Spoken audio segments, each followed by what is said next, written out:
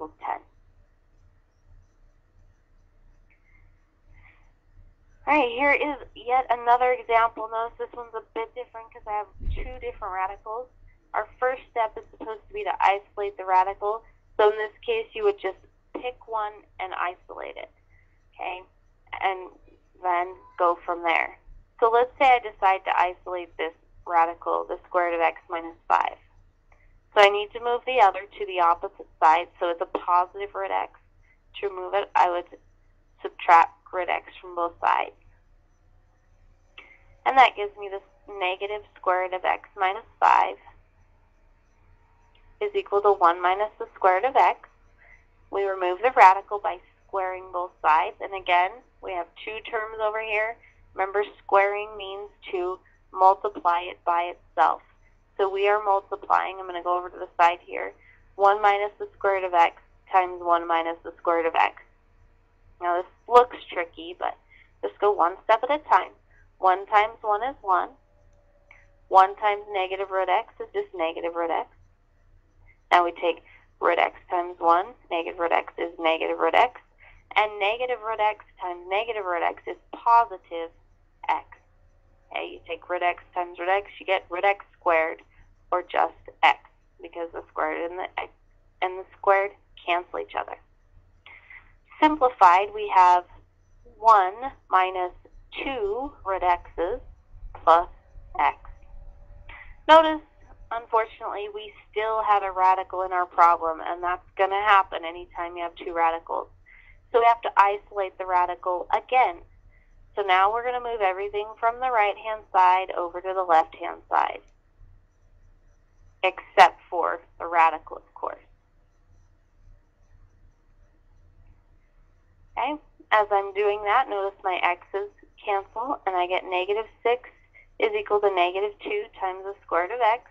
At this point, you could either divide both sides by negative 2, or you can go ahead and square both sides. Again, we want to remove that radical. If we square both sides, do not forget to square the 2. So on the left, negative 6 squared gives me 36. And on the right, two, negative 2 squared is 4. And the square root of x squared is just x. Let's go ahead and solve that. Divide both sides by 4 and I get that x is equal to 9. Now before I circle that as an answer, I'm going to check to make sure it works in my original problem. So I'm going to go back to this original problem up here, replace all the x's with 9s, and see if it works. So I have the square root of 9 minus the square root of 9 minus 5. Does that equal 1? The square root of 9 is 3 minus 9 minus 5 is 4 Okay, and the square root of 4 is 2. 3 minus 2 is 1. So yes, 1 does equal 1. x equals 9 is a valid answer.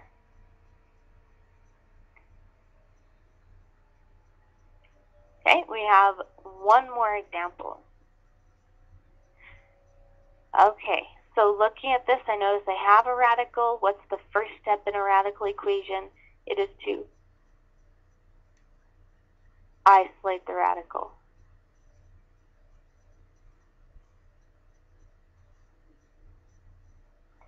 So I move anything that's not under the radical to the opposite side and I get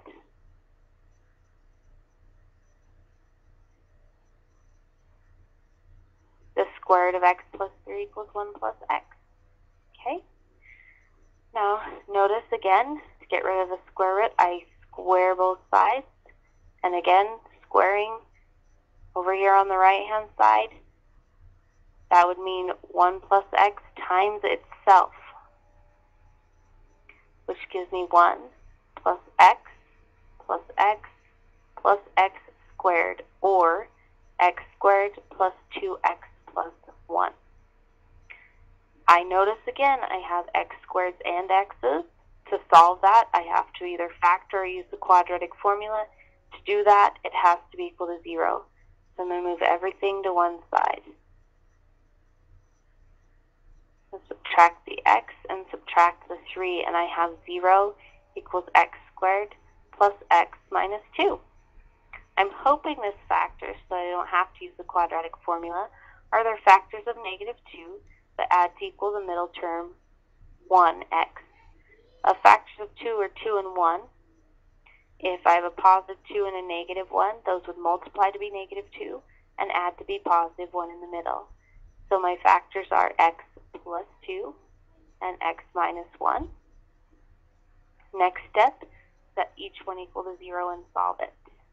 So now I have x equals negative 2 and x equals positive 1. Now I have to check both of those. Again, you can't just accept them as answers until you've checked them. So we go back to our original problem and replace all of our x's. I'll check negative 2 first.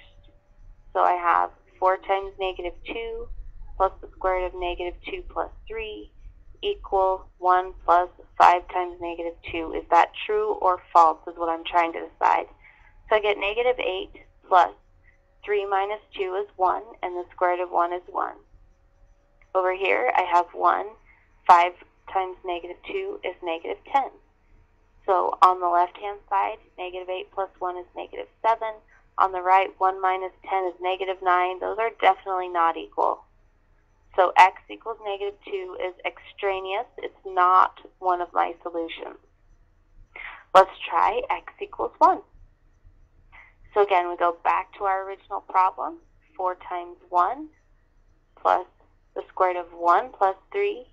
Does that equal 1 plus 5 times 1? This gives me 4 plus 3 plus 1 is 4. The square root of 4 is 2. Over on the right-hand side, I have 1 plus 5. Does 6 equal 6? Yes, it does. So x equals 1 is a valid solution to our problem. X equals negative 2 was not valid, so our only solution is x equals 1. Okay, so it is absolutely mandatory if you want to get the right answers, check your answers on radical equations.